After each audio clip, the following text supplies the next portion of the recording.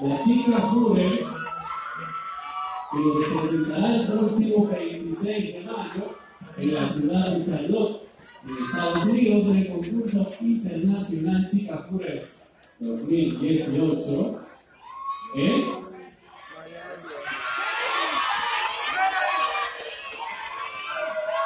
nuestra chica Coolers 2018 en Costa Rica. Es